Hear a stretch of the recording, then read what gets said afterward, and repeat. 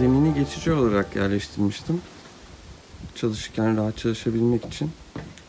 Montajı için yan dikmelerin ve çapraz bağlantıların bitmesini bekliyordum. Şimdi yan ve çapraz bağlantıların bittiği için döşemeye başlıyorum. Köşelere denk gelen kısımları şimdi kalemle işaret alıp uygun ölçülerde kesip ahşabı buraya tam olarak oturacak bir şekilde getirip sonra da vidalamayla montajını yapacağım.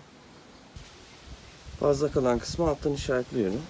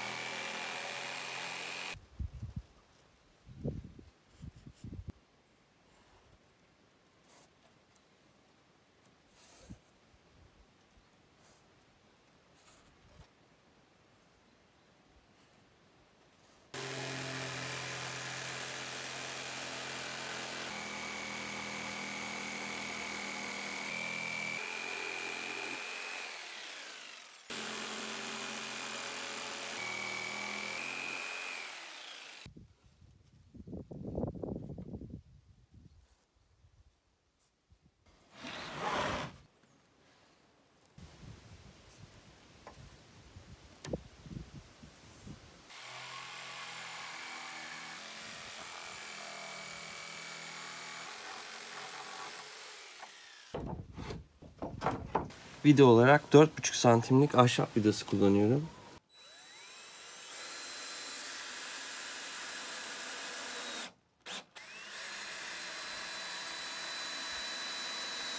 İki başı vidaladıktan sonra artık orta noktalardan da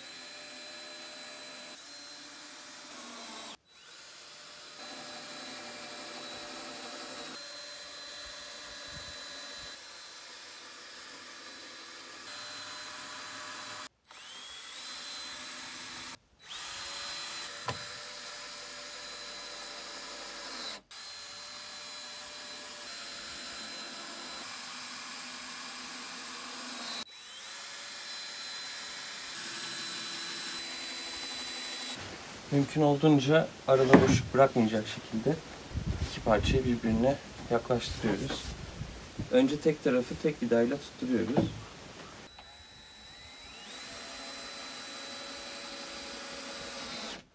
Sonra diğer tarafı köşeden tutturuyoruz.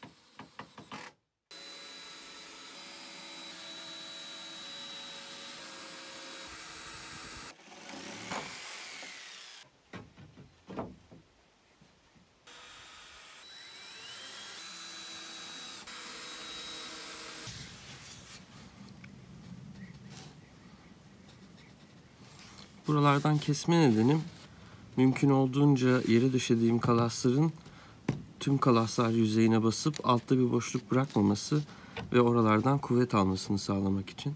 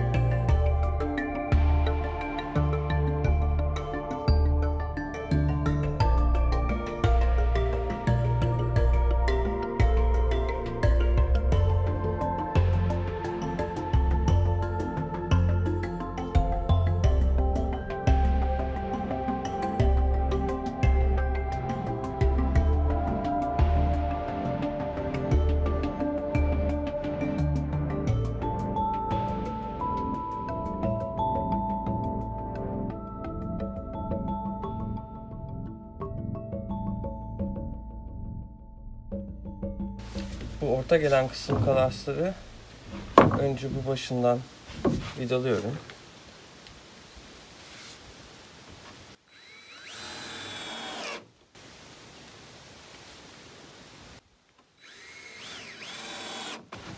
Sonra bu başını diğer kalası dayadıktan sonra bu taraftan fazla gelen kısmı işaretleyip kesiyorum.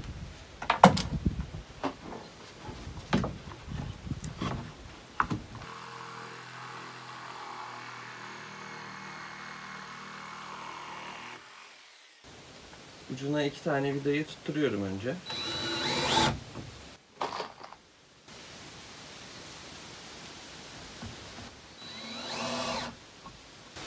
Sonra kalası tamamen birleşecek şekilde ittikten sonra vidalıyorum.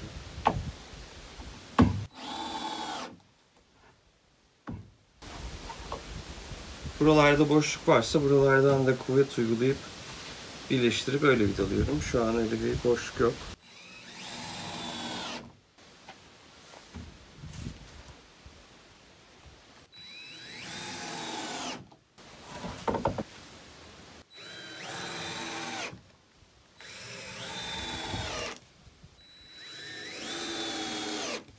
Bu vidalar aynı zamanda bütünde bir kuvvet yaratıyorlar.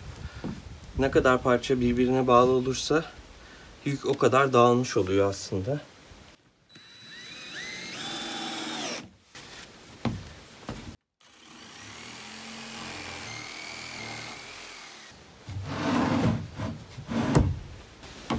Kalası dayadıktan sonra buralardan işaret alıyorum.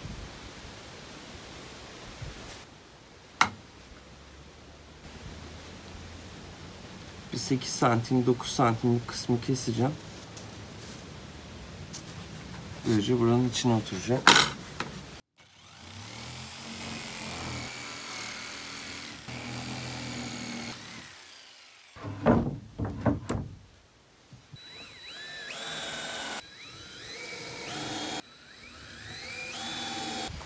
Şimdi burada bir boşluk kalıyor.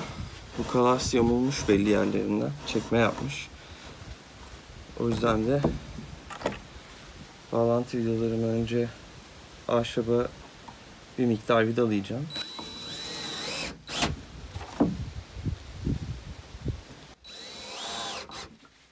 Sonra iterek aradaki boşluğu sıfırlayıp vidalama işlemini gerçekleştirebiliriz.